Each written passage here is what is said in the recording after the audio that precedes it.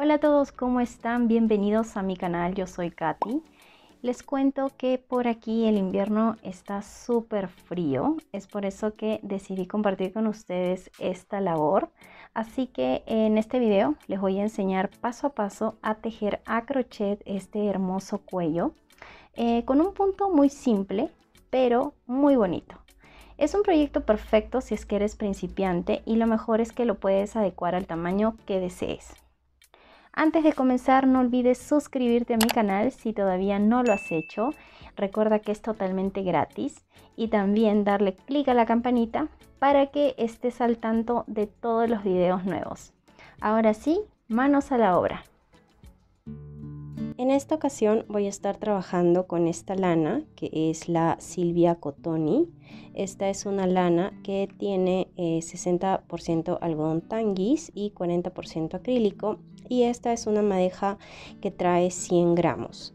Em, bueno, muchas de ustedes en los comentarios en videos anteriores me piden siempre el tamaño de la lana, size de la lana, qué número es.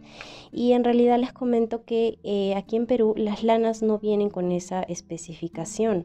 Es por eso que yo siempre trato de compartirles esta parte em, que traen en la etiqueta, en la cual indica tensión, palitos y crochet eh, y por ejemplo, en este caso, esta lana eh, te sugiere tejer con eh, un crochet de 3,75.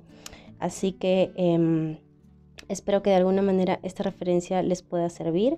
Sé que en muchos de esos países pueden conseguir una lana similar y de repente de mucha mejor calidad también. Y bueno, también voy a estar trabajando con un crochet de 6 milímetros.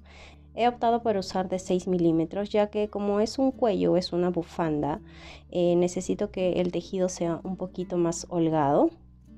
También necesitaremos una tijera y por último una aguja lanera. Para comenzar vamos a realizar un nudo deslizado.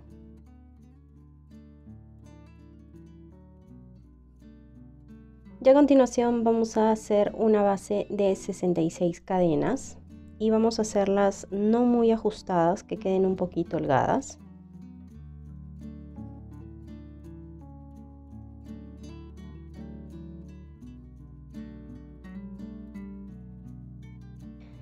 Una vez ya hemos hecho las 66 cadenas, eh, voy a poner derechita toda la cadena y vamos a ir directo a la primera cadena que hemos tejido y vamos a cerrar este tejido eh, haciendo un punto deslizado aquí en la primera cadena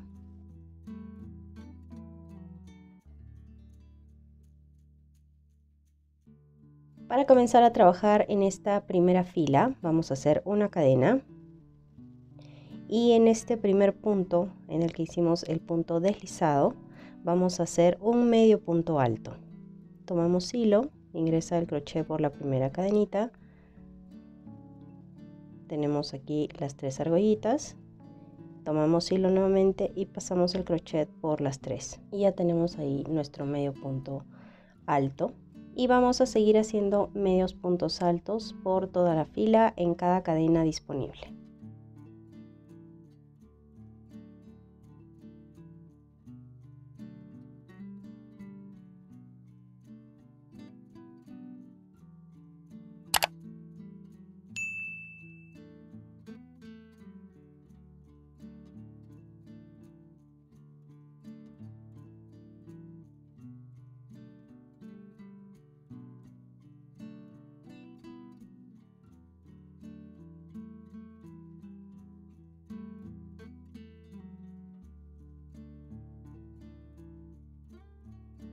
Recuerda no tensar mucho el tejido, queremos que los puntos queden un poco más sueltitos. Y así vamos a seguir trabajando hasta llegar al final y en total vamos a tener 66 eh, medios puntos altos en toda esta fila.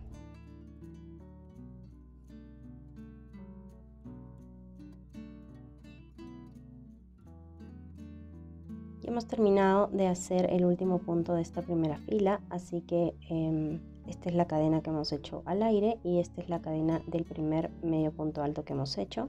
Así que vamos a tomar aquí la cadena completa y vamos a cerrar la fila con un punto deslizado.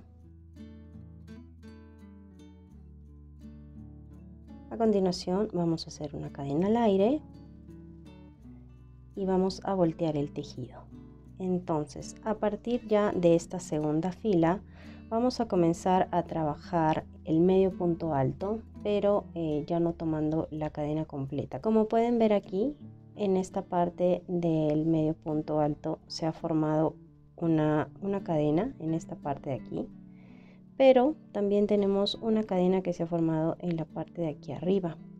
Entonces es sobre esta cadena de aquí encima que vamos a trabajar no la del frente, sino esta de aquí encima. Y vamos a tomar únicamente la hebra de atrás. Entonces tenemos aquí la cadena. Vamos a tomar solo esta hebra trasera. Esta hebra de aquí atrás. Esta hebra de aquí atrás. Y allí es donde vamos a hacer el medio punto alto. Entonces siempre cerciórense de voltear el tejido y tener las cadenas que se forman en la parte de arriba Así que voy a tomar hilo y voy a comenzar haciendo el primer medio punto alto en este primer punto disponible que tenemos aquí. Vamos a hacer el medio punto alto tomando la hebra trasera de esa cadena que nos ha dejado la fila anterior.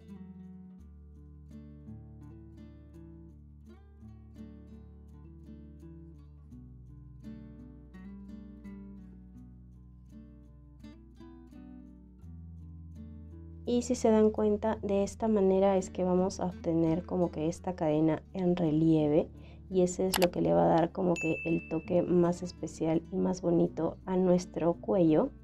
Así que vamos a seguir haciendo los medios puntos altos alrededor de toda la fila y siempre asegúrate de tener los 66 medios puntos altos en toda la fila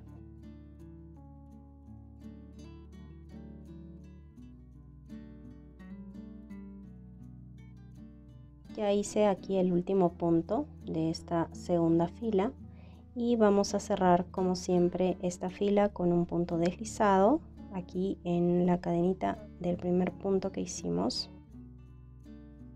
Y nuevamente para pasar a la siguiente fila hacemos una cadena volteamos el tejido. Y nuevamente eh, como pueden observar tenemos aquí la fila de los puntos eh, medios altos.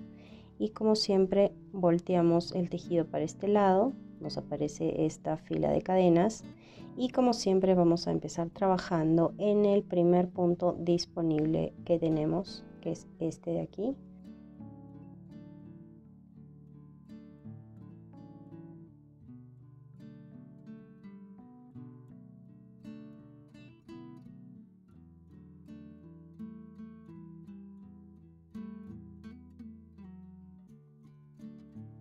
y vamos a seguir tejiendo medios puntos altos en cada punto disponible como siempre tomando la eh, cadenita de arriba la hebra de atrás.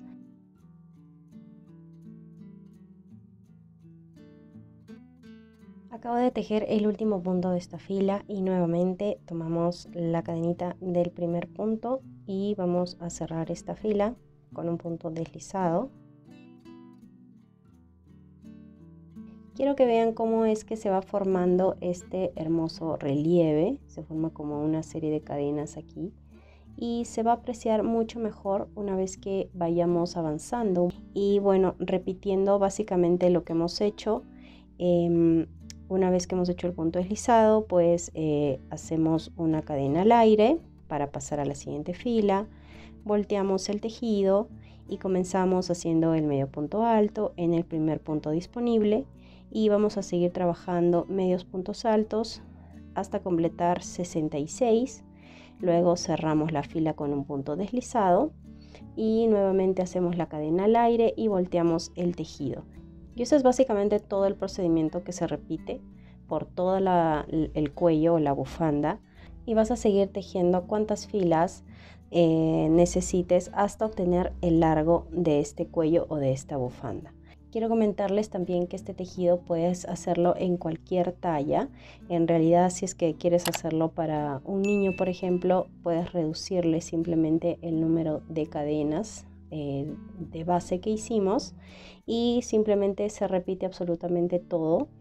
Y eh, también puedes modificarla y ya no hacer solamente un cuello, sino puedes hacer también este tipo de bufandas infinitas que dan dos vueltas, que también quedan súper lindas. Así que mm, yo voy a seguir avanzando y en un momento les voy a mostrar cómo cerrar el tejido.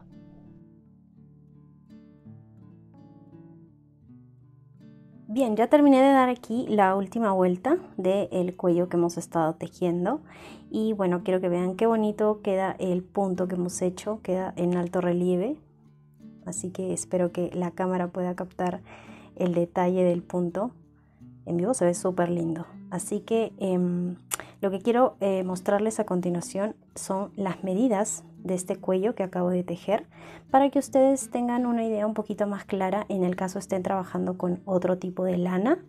De largo 27 centímetros y de alto le he dado 23 centímetros. Entonces esa es la medida del cuello. Yo veo que es una medida eh, bastante apropiada y adecuada para este cuello, te cubre súper bien, te abriga, no es muy delgado ni tampoco muy, muy voluptuoso ni muy alto, eh, te cubre a la perfección con este tamaño. Pero si de repente a ti te gustan los cuellos un poco más, más altos, más grandes, entonces puedes aumentarle un poco más de filas, eso ya queda a criterio de cada uno.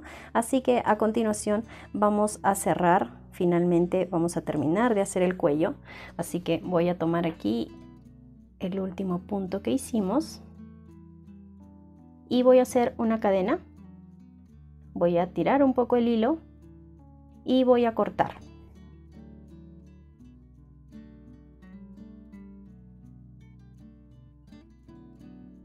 Entonces lo único que nos faltaría hacer sería esconder estas colitas de hilo, tanto la del inicio como esta del final.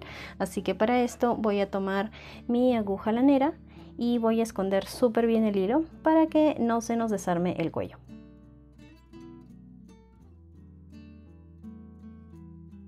Y ya está finalmente terminado nuestro cuello tejido a crochet. Ya escondí súper bien las colitas de hilo por ambos lados. Aquí lo guardé súper bien en la parte de atrás para que el cuellito no se desarme ni se descosa al momento de ponerlo o al momento de lavarlo. Y em, espero que se pueda apreciar el, punto que hemos hecho, el alto relieve que le da. Eh, también puesto se ve súper bonito y bueno, la cámara tampoco logra captar el color como es en, en, realidad. Les aseguro que en vivo el color es súper lindo, es un celeste agua muy muy hermoso. Y bueno, si es que les gusta hacer este tipo de trabajos a crochet, tengo también otro video de otro cuello muy parecido pero con otro punto también súper lindo. Les voy a dejar el link directo por aquí arribita para que vayan a chequearlo. Y si les ha gustado este tutorial recuerden darme un like y también compartirlo todo el mundo para que mi contenido pueda llegar a más personas. Así que con ustedes hasta un siguiente video. Cuídense mucho.